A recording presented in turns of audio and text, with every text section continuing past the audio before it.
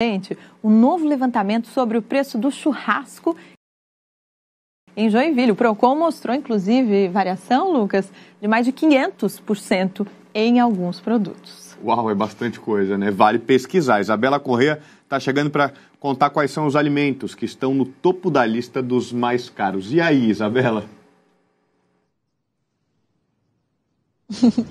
Olha, Lucas e Marta, eu vou, eu tô rindo por causa de alegria, tá? Por causa que nessa pesquisa, além desses valores caros, tem também os mais baratos. E entre eles tem a picanha no churrasco, tá? Daqui a pouquinho a gente fala sobre isso.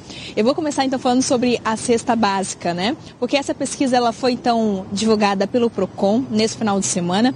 Levou em relação a uma pesquisa que foi feita um levantamento entre o dia 1 e o dia 2 deste mês de junho. E foi feito, então, um levantamento de 41 produtos em 14 estabelecimentos.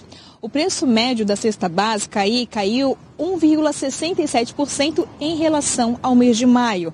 Na média, a cesta básica caiu então para o preço de 303 reais, de 303 reais para R$ 298. E o menor preço que foi encontrado desse mesmo segmento foi em um mercado com valor aí de 182 reais.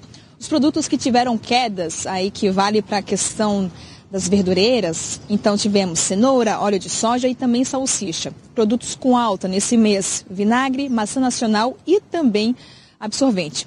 Agora vamos falar sobre o churrasco, que eu falei lá no início, né? Porque tivemos aumentos de algumas carnes, mas também redução. Para quem gosta de uma picanha, carne gostosa, eu confesso que gosto.